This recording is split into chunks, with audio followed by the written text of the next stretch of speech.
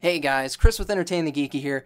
Just wanting to give you some fun information. I need you guys to go to slugfestgames.com slash ETG. The reason I need you to do this is because these guys have cooked up some of the best games to come out in a long time. You've got games like Red Dragon Inn, which is one of our personal favorites here, The Battle for Greyport, you've got High Noon Saloon and Fishing for Terrorists. They've got a bunch of different stuff. And then if you want swag, they've got swag. So guys, go to slugfestgames.com slash ETG for more information. So, if you want a gun toting, fist fighting, beer drinking kind of night, where do you go? You go to the High Noon Saloon, that's where. Brought to us by Slugfest Games, the same people that brought you Red Dragon Inn. Fishing for Terrorist And the Battle for Greyport. and much, much more. Guys, if you go to slugfestgames.com slash ETG, you can get the hookup on all kinds of different good stuff that these guys are doing. So many games, so, So much games. swag. Oh my gosh, all the swag, all the games, and they have this wicked sweet game right here. High Noon Saloon. High. Noon Saloon. Um, It's a Western game set in a bar. What could go wrong? I mean, basically, if you came looking for a fight, you came to the right place. No, I mean that that is their tagline. So, guys, go to slugfestgames.com slash ETG for more information. Whether you're a guy in a cave or a rogue who's sneaky, thank you for joining Chris, Roger, and Jason as we... Go ahead, Jason. Entertain the geeky. okay, guys. So behind the scenes, like, like, like, like, normally our, our front end advertisements is, is a pre-recorded thing that we've done, and Chris is like, "Hey, let's wing it live for a second. And Chris's transition was just straight from ad to hitting the song, and it. I was done. You broke Roger at that point. I'm very good. You broke Roger. So, Jason, um, we're gonna talk a little bit about, about you being a, a fucking nerd, if you don't mind, All right, that's cool. and, and a, a topic that you and I have neglected for a while because Yeah. I mean. We have a new show getting ready to come out soon. In, here In a bit. In, in a bit, in like a month or two. Um, Dungeons and Dumbasses, Yes! which is which is our which is our take on on, on we're gonna play D and D. Yes. We're gonna play D and D. We're gonna it's gonna be a comedy show. It's gonna be drama. It's gonna be fighting, high high action. There's gonna be sex, drugs, Drinking and in the bars and, and hanging out in the prostitutes. yeah, it's a thing. like, like, like, like so We're ETG, smoking, drinking, fucking. ETG pre- presents Dungeons and Dumbasses. So, but but we have not talked about role playing games in a while. It's and, been a minute. and like some big news has happened in the world of role playing games. Oh. um, White Wolf is getting ready to release their beta for their new version of, of of World of Darkness of Vampire the Masquerade. I have I have signed up for this. So, you, what do you mean signed up? Like I'm I'm signed up. I'm ready. Once the beta gets released, they're emailing it to me, and like I'm gonna run the shit. All right. Like I love World of Darkness. I haven't played World of Darkness since. Since you got out of your emo, I'm not a goth face. I get that. Yeah, probably. Yeah. But- teenage years still. So I don't want to go talk about World of Darkness, but I want to talk about just role playing games in general and like Alright. like what it means to, to to be a role player. Because for a lot of geeks out there that don't role play, that don't do the D and D or the Pathfinder or the Deadlands or, or the games we love, it's it's kind of this weird sort of thing to try to describe because you're like, hey, I'm sitting around a table, rolling some dice and acting, Making believe. right? But it's so much more to that. So so I really want to talk not. I want to talk about like what role playing means to you and like some just some awesome times you've had.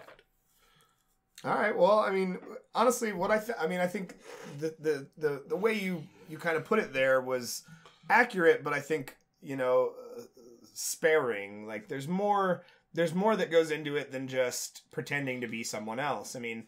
It's, it's not necessarily that you have to be a performer. I mean, if we're obviously the thing you're about to do. Oh Dungeons no, we're, we're performers. We are performers, and we're going to try to entertain you guys. Not whoa, whoa. There is no try. Do or do not. We're gonna Whoa. entertain the geeky. Whoa, whoa. There's no do not when it comes to Chris and Roger. we We just Yes. do it. but uh, but if you're just sitting around playing with you know your friends in your basement, it's it's really just a way to engage in something that's silly. And, It's and silly. You're not trying to be cool. You know what? No, it's Being not cool is being cool. but it's co- like like but you also like it's cooperative storytelling. yeah. You know, like like I had a conversation with uh, Jams the other night because he's trying to do this really cool D and D thing, which I'll talk to you about off the air because Joe listens and he's playing in this game. Oh, But okay. like I told him, I said the best thing you can do because he was so worried about how do I get players where I want them to go. I'm like, dude, the best thing you can do as a DM is let the players do what they want to do and just leave enough hooks for them to actually trip onto what you want them to do. Oh, sure. You, like that's the yeah. cooperative storytelling element. You're building a world together. Yeah, you write a. I mean, you write a beginning and an end. You know where your story's going. You know what the beats are that lead to that end.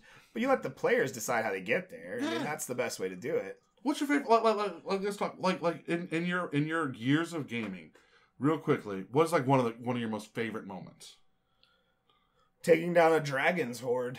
Like a horde of dragons? No, no, one dragon and a big horde of gold that we Oh. uh that we got as much as we could out of there and just left the rest on. In what system? Uh, this was three point five. Do you know how jealous I am of you right now? I have never fought a fucking dragon. Dude, fighting a dragon is hard. We I were- know. We had to be. We were really high level by the time this happened. I've never fought a dragon. Like, like in all my years of role playing, like, like yeah, in, in the Adventure League, I rode a dragon, but we were level one. We weren't meant to fight it. Sure. I have never fought. I have never walked into a dragon's lair, drawn my sword, or readied my bow, knowing I was going into battle against a great dragon. Yeah. I mean, sitting down, the, the greatest thing about some of those things is what happens at a table where you sit down and you try to plan how this how this battle's going to go out. You get recon, you try to understand the layout of the cavern system. Yeah, I mean, it, And then it- it all goes to shit once you roll initiative. sure. I mean, you know, the dra- it's still a dragon. It breathes fire and can fly, and it's fast, and you're inside its house. It's, yeah, it's yeah, terrible. it's a whole thing. Yeah. What about you, Chris? Um, actually, the first time we sat down to play Dungeons and Dumbasses with our group was it was a breath of fresh air. So we have a couple of new players there, and uh, it was fun watching people. And I think this is probably always my favorite thing about starting a new campaign: watching people start to become their character. And, and you died. No, I didn't. I mean, you technically did. You were brought back to life, but like, like you, you fell fine. in battle. I was fine. You fell in battle. In You the did. pussy battle, you fell. Not in the real battle. You did fall in battle. Listen, it's a gnome bard. You fell in battle. well, then you should be perfectly, you know, capable of playing some songs to defend yourself. I want you guys to go ahead and fuck yourselves. the worst part is like he fell and he like like the look on his face was like so priceless. 'cause He's like, "Ah." I I'm at- knew it I'm was- at I'm at zero. I knew My it was gonna- here? Yeah, I'm dead. I knew it was gonna fucking happen. It was all but inevitable because there's fucking orcs everywhere. God, There's four orcs. that's everywhere. Okay, he's a gnome. You just rushed out there. You're like, I'm out there in the front line. The two fighters were still in the bar, and you're like, I'm on the front line. Yeah, you you, you need to. You need I to did rethink a your strategy. thunder wave. You, You need to did. rethink your strategy. It the made bards sense. stay in the back Yeah, until they're no, needed no, to go no. to the I front. did a fucking thunder wave to push everybody back. Like it made sense on paper, and then it only pushed one back, and I started getting mouth fucked. Do you know? well, the what? important thing is, did you learn not to do that thing? No, Because Well, he's then- gonna do it again. He'll do it again. Like, like look, my character's a little bit impulsive. little gung ho about his about his He wife. is. here, I yeah. mean, you've you've heard him sing. Like I have. He's you all will hear him sing soon enough. will. My my favorite role playing moment was actually during Merle's truck stop in Maine, when when when Matt Ooh. lost his arm. Oh, that was awesome. Like like like like he goes he goes I'm gonna stick my hand through this thing and see and like he just loses his arm and he goes, well that's not good. like that right there like just that's uh. not good. Just cracked me up. And we all died in that game. Everybody died. We're gonna be doing Emerald's Truck Stop real soon. Yes. Like like as a ETG special. Um, we're gonna do Emerald's Truck Stop in Maine demo episode. I think I think our original cast might change a little, and we'll talk off the air about that because I know someone I want to have come on for this. Is it me? Well, you're definitely part of it. Lemur's part of it, I'm but there's a part th- of there- He's, there- he's just saying that to no. make We me feel talk. better. on Fuck the off, air. long-haired hippie fucker. It's on the air, so it's official. Like, like, fuck, fuck off, long-haired hippie dude. We talked about this. I said like I want you and Lemur to play Emerald's Truck Stop as a special, but there's a third person I want to invite on. A menage. Yeah, I want to invite him on, but I want to have him on the show before we Haven't you do ever Emerald's heard of a ménage à trois? A ménage à trois? That was freaking magical right there, what you just did with oh God. those, with those words. Yeah. So, Jason, what's your favorite role playing game? What's a ménage à trois now? what is my, my favorite role playing is game is still Dungeons and Dragons. Um, and, and I don't mean a specific system. I just mean playing in a in the in the world of magic and elves and dwarves and stuff. That's that's pretty much always my go to. I love it. What about you, Christopher? It's D&D. Am I the only one that's not going to say D and D? No, you're going to say Probably. Deadlands. I'm actually like Deadlands is my favorite. Yeah. Yeah. I, I mean, don't get me wrong. There's other games. no, there's other great games out there. I used to love playing Vampire. I used to love playing Werewolf. I loved these games. there's there's so many other games out there. Like like D and D will always hold a special place. I think it was like D and D was one of the later role playing games. Like because role playing was okay in my house growing up. D and D was not. Sure. It was a Taboo. it was a very weird thing. So like I could play Vampire, I could play Deadlands, I could play Teenage Mutant Ninja Turtles and Other Strangeness. I could do all those things. I could play Star Wars. D and D until third edition came out was kind of this taboo thing that we just didn't do. Well, no, like so. It's because your parents thought it promoted devil worship. My, my mom. And my up- friends, like my mom grew up Pentecostal.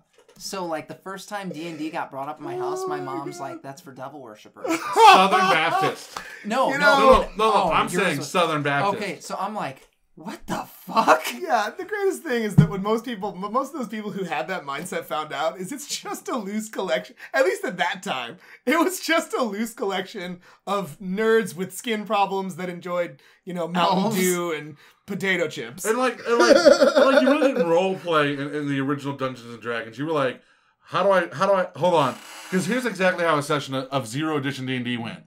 All right, you guys walk down a cavern. You see a goblin. Okay, I attack. Hold on, what do I, what the fuck do I roll? I gotta roll a uh, d6, a d4, a d8, divided by two, times it by 1.5. All right, hold on, guys. Like that was Zero Edition D and D, followed by the, you see a sack of flour and you touch it, you die. Never touch the flower. Never also, touch- when the game first came out, I mean, you have the. I mean, it's it's kind of a goofy joke that a lot of people have gone to, but it's actually based in reality. When you first play D and D, it's awkward, right? Like it's, hey, you guys can talk to each other now. Uh, I hey, attack the darkness. I'm Glanthor, the merciful. You know, like what are you No, doing? Like it's no, weird at no. first, The- right? Like No, it is. the, You're the- right. The, best is like when you have an experienced player and like the, the, the complete newbie, and the newbie's like, um, my name is is is John Thal. I have a, a dagger and a bow, and I'm dressed in a cloak. And the other guy goes, I am Rigor, clan of the Rigorians. My family has died. I have a scar across my left cheek. And what that is from, I will not tell. that sounds that sounds like Capuano. don't worry about my weapons. Because you will never see them unless it's battle. Or Brent. You can Yeah. be Capuano or Brent Yeah, at that point. well, like, like that, like that is the best thing because the, the newbie's like, "Oh my god, I want to be him so bad." I want to be. Why am I not you? Are You there any fucking girls nerd. there? If there are any Uh, girls there, I want to do them. okay, so what's funny is Dungeons and Dumbasses. We have Tara and Carly.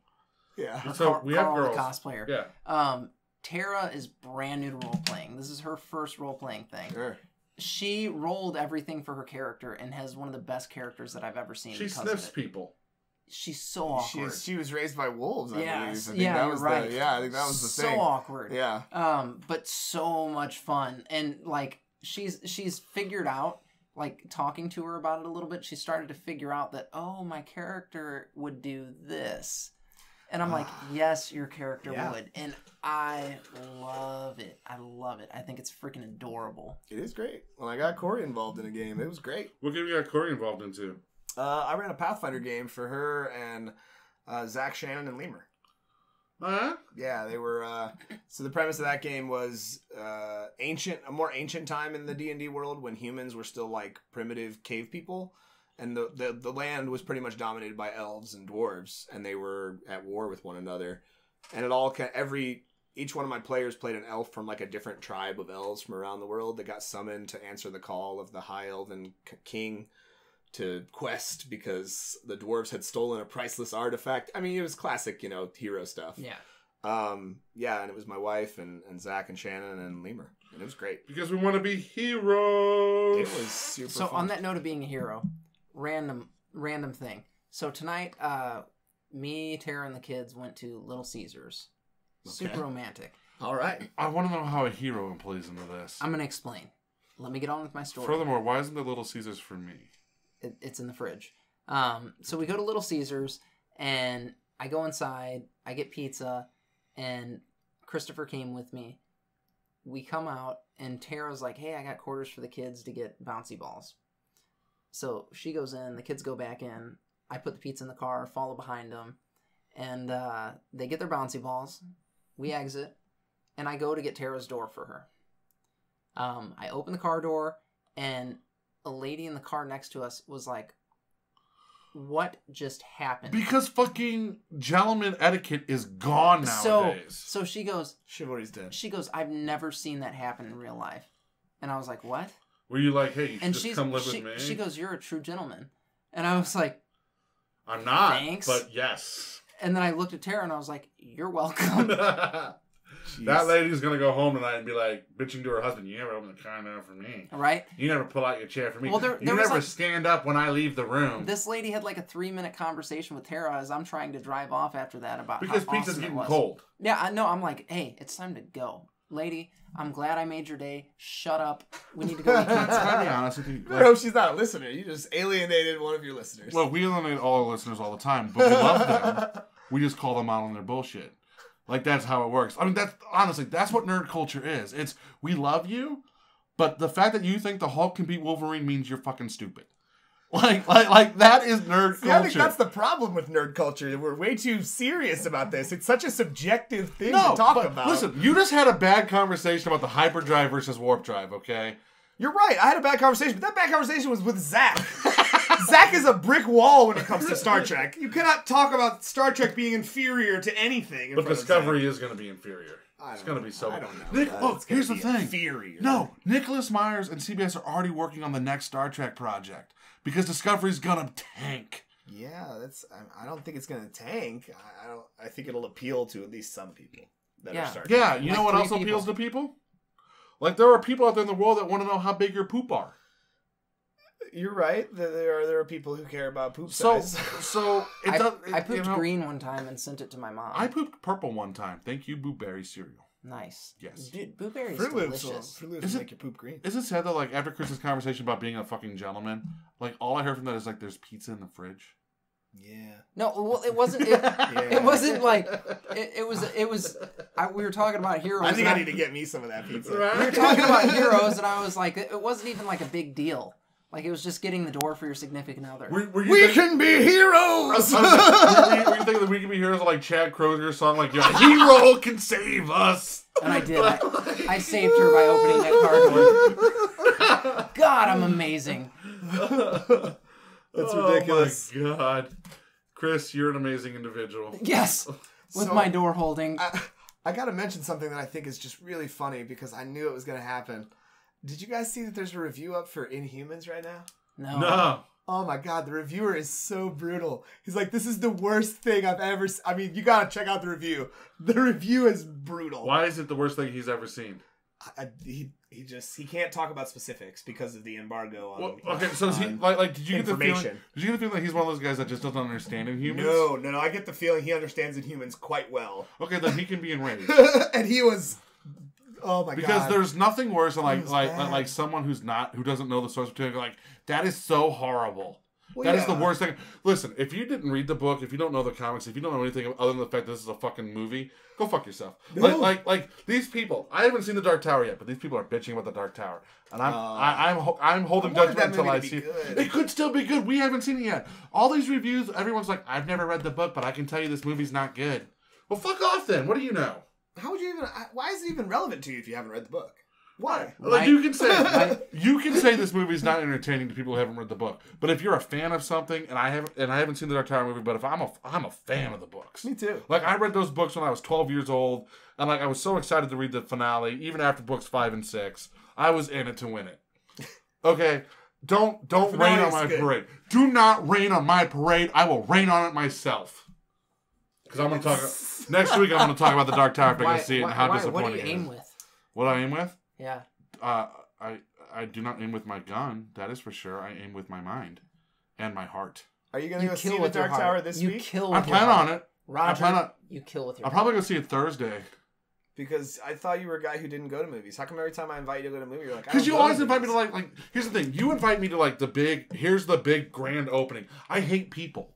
I hate people in movie theaters. Do you? Okay. I would lo- if I can walk in a movie theater and there's like three other people. I am golden because they're not going to be the popcorn munching, soda drinking, noise making sons of bitches.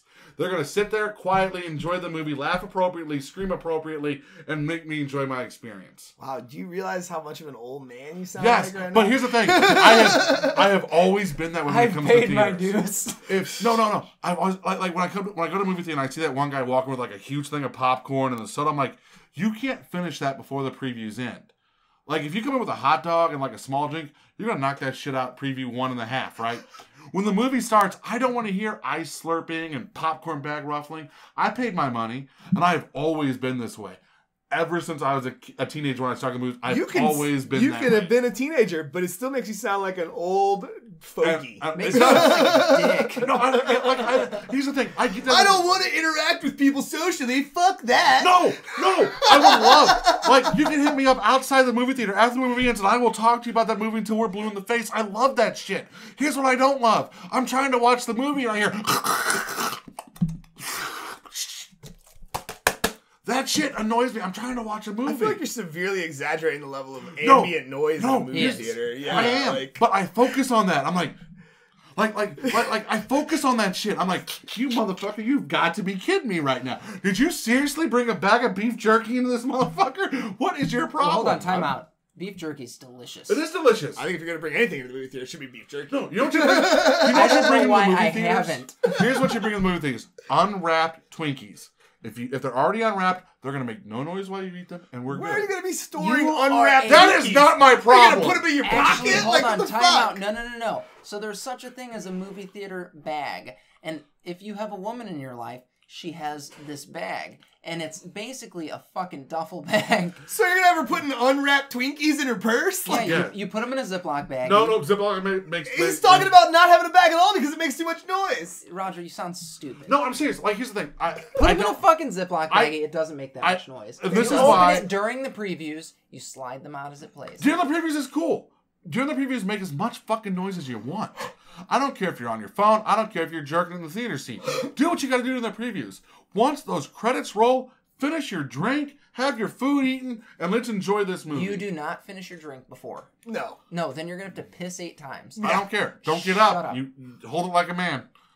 All I'm saying. No, that's that's This is why I that's a correct statement. This is why I cannot go like like like when you invite me to movies, it's always for like midnight showings. And as much as I love being with fellow nerds seeing these movies, the the, the level of annoyance is there because if like half the crowd laughs at a moment that that's not funny, like I was like, you no, don't laugh. I am that much of a judgmental prick. It's it, it, if if something's He's- subjective now you're is not good implying for that him. comedy it doesn't apply the same or differently to other people. No, like, what are you talking problem. about? Here's the problem, Jason. I'm not applying that. I am saying that is fine. This is why I don't go to the movie theaters because I am that irritated. Like it takes me out of the movie and I'm like this. I'm like, you motherfuckers, shut the fuck up. I don't understand Shut why you're so angry. It the doesn't do the anger. I'm You're not so angry. hostile. Like like me and my brother, we, we I have seen every James Bond movie in theater with my brother since since um the movie like, after Goldeneye. every. Since since the movie after Goldeneye, we have seen every James Bond movie in theater. So die another day. No, uh, was it Die Another Day? Or was T- Tomorrow, Tomorrow Never, Never dies. Dies. So from Tomorrow Never Dies up, we have seen every James Bond movie in theaters. We make sure we go to these movie theaters at 10 in the morning. Do you know why? Because it's all old ladies who are all like, I just love James Bond. And they sit there, and then after the movies, we're talking, we're doing our So, thing. so then how come, you know, like you don't respond to my text message with, hey, I don't want to go see it at midnight, but let's go see it tomorrow at 11. Because I'm down I'm for that. in. I'm down for that. But like in my mind, you've seen it in the midnight. You're getting out of the theater at three in the morning. Do you know I saw Spider Man Homecoming the first four nights it was open? That's awesome. You're a fucking freak.